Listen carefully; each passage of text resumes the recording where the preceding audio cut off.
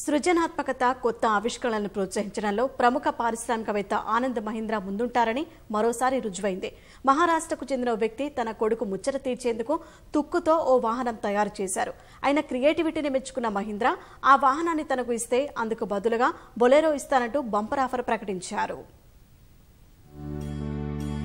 మహారాష్ట్రలోని సంగ్లీ జిల్లా దేవరాష్ట్రే గ్రామానికి చెందిన దత్తాత్రేయ లోహర్ స్థానికంగా కంసాలి పని చేస్తూ కుటుంబాన్ని పోషిస్తున్నారు. ఆయన కొడుక్కి కారు ఎక్కాలని చిన్నప్పటి నుంచి కోరిక. అయితే అంత స్తోమత లేని దత్తాత్రేయ తుక్కు వాహనాల విడిభాగాలు సేకరించి సొంతంగా వాహనం తయారు చేశారు. కిక్కిస్తే స్టార్ట్ అయ్యేలా దీన్ని తయారు చేశారు.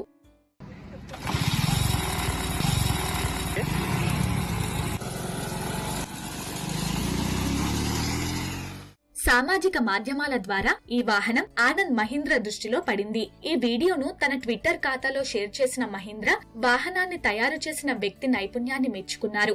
వాహనం ఆటోమొబైల్ నిబంధనలను అందుకోలేకపోయినప్పటికీ మన దేశ ప్రజల తెలివితేటలు తక్కువ వసతులతో ఎక్కువ పనిచేసే సామర్థ్యాన్ని మెచ్చుకోకుండా ఉండలేకపోతున్నానని ట్వీట్ చేశారు. నిబంధనలకు అనుగుణంగా లేని కారణంగా స్థానిక అధికారులు ఇప్పుడైనా తరువాతైనా ఈ వాహనాన్ని రోడ్డుపైకి రాకుండా అడ్డుకుంటారన్న ఆనంద్ మహీంద్ర ఈ వాహనాన్ని తనకు ఇస్తే బదులుగా బొలేరో వాహనాన్ని ఇస్తానని ఆఫర్ ఇచ్చారు. దత్తాత్రేయ సృజనాత్మకతను మహీంద్ర రీసెర్చ్ వ్యాలీలో ప్రదర్శనకు ఉంచుతామని అది తమలో స్ఫూర్తిని నింపుతుందంటూ ట్వీట్ చేశారు. ఆనంద్ మహీంద్ర ట్వీట్ ప్రస్తుతం నెట్టింట్లో వైరల్గా మారింది. దత్తాత్రేయ టాలెంట్ను పలువురు నెటిజన్లు అభినందిస్తున్నారు.